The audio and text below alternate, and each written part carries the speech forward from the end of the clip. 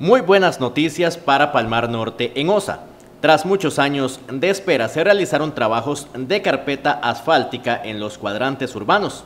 En total fueron 1.200 metros de obra y con una inversión superior a los 123 millones de colones. Unos trabajos que vienen a colaborar con las personas que a diario circulan por este sector y otros que tienen que pasar por Palmar Norte.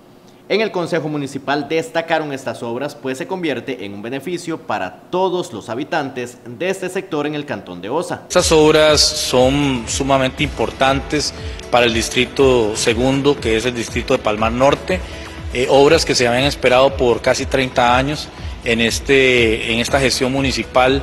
El Consejo Municipal, mancomunado con Alcaldía, Unidad Técnica y otros actores, han podido sacar a tiempo eh, las adjudicaciones para que se puedan ya realizar los asfaltados en los diferentes cuadrantes. Siempre las obras de infraestructura vial son de gran importancia, pues muestran un crecimiento y se favorece a muchísimas personas que por mucho tiempo pidieron ayuda para un mejoramiento en estos cuadrantes urbanos.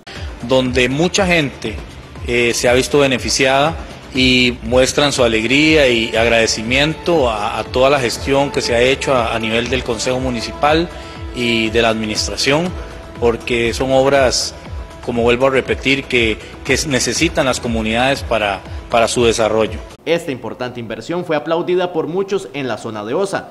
Se esperaría que sigan concretando otras importantes obras dentro de este cantón. A finales del año anterior, también se hizo mejoras en el ingreso a Dominical, una zona turística que tiene una afluencia muy importante de personas durante todo el año.